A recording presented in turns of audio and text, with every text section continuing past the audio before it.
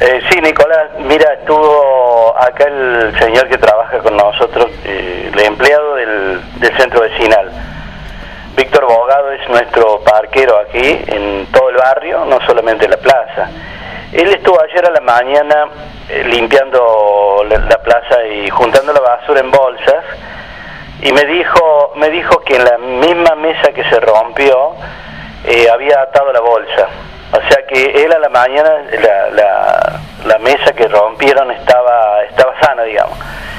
Y volvió a la siesta eh, a hacer otros trabajos y se da con que la mesa estaba rota. Así que me llamó por teléfono y me dijo, venía a la plaza un ratito. Así que fui y bueno, fui- yo le saqué las fotos, me doy con ese lamentable episodio de que algunos chicos han roto, para él son chicos muy muy jovencitos, han roto ese, esa mesa, han traído un banco de esos bancos viejos que había en la plaza San Martín de madera, esos largos que son cómodos así, que están justo al lado de la gruta.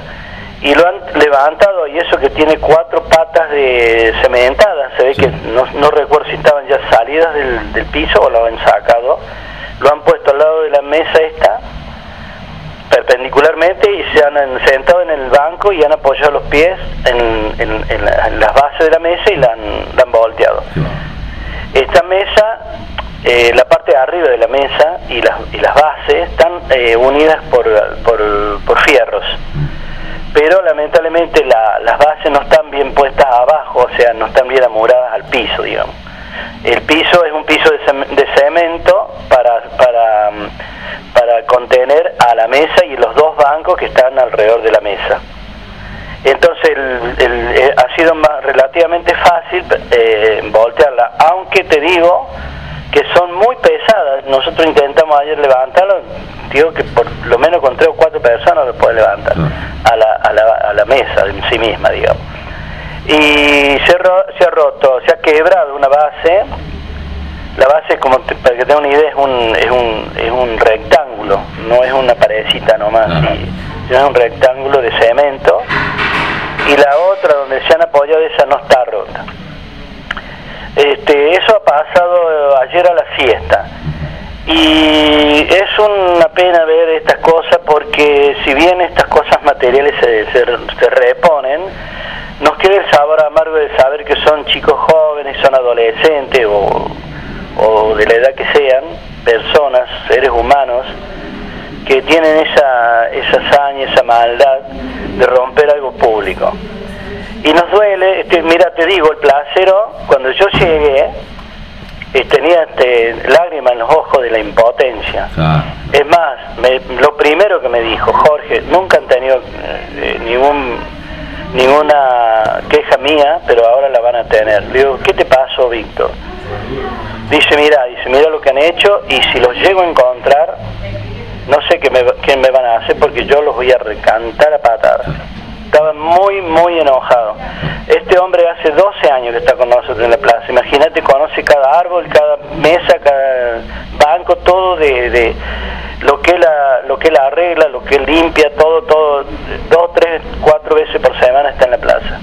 Y encima, digo, el esfuerzo eh, que sabemos que han hecho durante mucho tiempo de- desde el centro vecinal, los propios vecinos, para que la municipalidad, digo, le- les dé el espacio y también lo vayan acondicionando, ¿no? Totalmente, Nico. Mira, nosotros estos bancos y, y mesas, que las tenemos justo hace un año que las tenemos, eh, la hemos conseguido solo por, por gestión municipal, pe- perdón, gestión vecin- del, ve- del centro vecinal.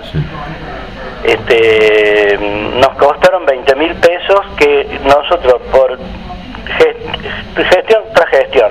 Nosotros tenemos la personería jurídica, no porque vinieron a traer a la sede vecinal, sino fue gestión, ¿no?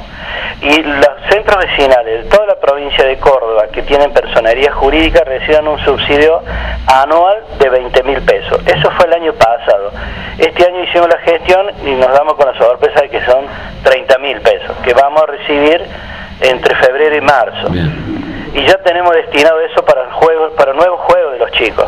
Pero te digo, el trámite que hay que hacer para presentar eso del subsidio provincial es días y días de trámites, buscar presupuestos, llamadas, teléfono, ir personalmente a ver los productos, que no, eso fue lo que nos pasó, a varios lugares, después ir a Córdoba, llevar esto, después volver a ir a Córdoba y presentar los papeles con los cuales hemos comprado, o sea, la rendición de cuentas, y finalmente eh, volver a ir a recibir el cheque. O sea, todo es un trámite, todo es gasto, y te soy sincero, todo sale del bolsillo de la gente del centro vecinal.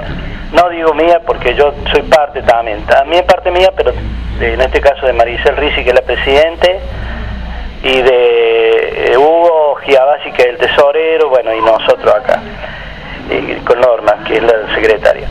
Entonces, bueno, eh, todos estos trámites son gestión propia del centro vecinal y, tenemos el orgullo de decir, bueno, mira, viene gente, Nico, familias, chicos, jóvenes, toman mate, se quedan a estudiar, porque antes no estaban las mesitas. Ahora tenemos cuatro mesas y te da satisfacción ver cómo vienen y te da pena ver cómo rompen. Y te vuelvo a repetir, nos duelen más los, chicos que han roto porque son dañinos y no sé qué, qué será de sus vidas cotidianas. Es una lástima que hagan esto, será una travesura para ellos a lo mejor. Sí, sí, sí. Ahora te voy a comentar lo bueno, vamos al otro tema. por supuesto. Porque todo tiene su cosa buena. Mira, eh, como lo pusimos en el grupo del centro vecinal, donde nos avisamos de las reuniones y eso, y pusimos la foto y tal, inmediatamente me llamó el tesorero, me dice, Jorge, venite al plaza y yo me junto con vos ahí. Así que nos sentamos, digamos, muertos por medio, la mesa rota ahí, y dijimos, ¿qué le damos? ¿Qué solución le damos? El propio placero me había, me había dicho que él lo puede hacer nuevamente, pero de ladrillo, no de cemento como está.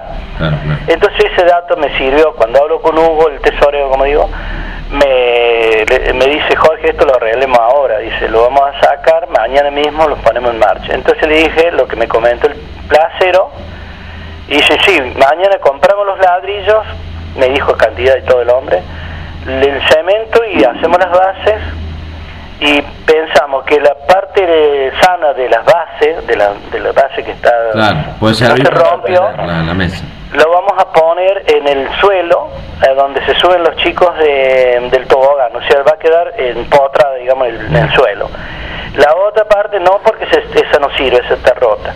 Pero la mesa en sí misma, si bien está cuarteada, pero sirve. Entonces vamos la vamos a poner sobre bases de ladrillo. Va a ser distinto a las otras, pero eso lo vamos a hacer inmediatamente entre hoy y mañana. perfecto, perfecto. O sea que ya le dimos una solución para que esto no quede así, no nos quedemos mirando como Totalmente. llorando sobre el sobre el hecho. Jorge, querido, te mando un abrazo, gracias y, bueno, ojalá que no vuelva a ocurrir. ¿eh? Bueno, es el mensaje como siempre para que los chicos te cuiden los espacios, la gente aprecie lo que tenemos y, nada, que, que, si alguien ve algo, que les advierta, que les diga, no que lo aquel placer está tan enojado que lo quería agarrar pero no, no es el tema, este, hay que hay que hablarlo a los chicos para que esto cambie, ¿no?